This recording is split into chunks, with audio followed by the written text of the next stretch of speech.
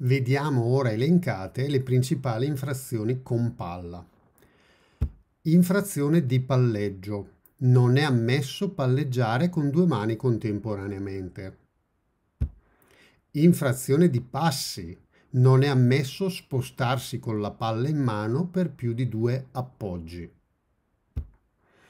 Infrazione di doppio palleggio. Una volta interrotto il palleggio non è possibile riprenderlo. Infrazione di pugno. Il giocatore non può colpire la palla volontariamente con il pugno.